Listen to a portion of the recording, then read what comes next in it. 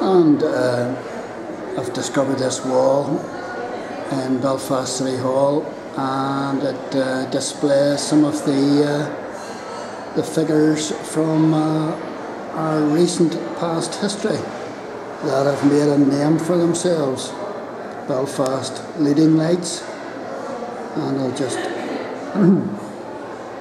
run the camera over them. People who have in many cases done Belfast proud. There's Old Duke Special.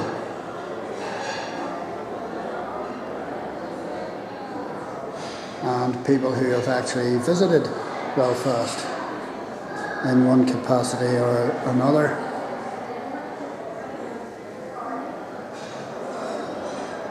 So sort of a, a wee, uh, there's Van the Man and Brian Kennedy, uh, your man the cook. Is that Eamonn Holmes? Yes it is. On down and on up across. Seamus Heaney up there. Frank Carson, of course, the, the bow, Frank Carson. Famous Belfast faces. I wonder how many you can identify. Gloria Hunniford.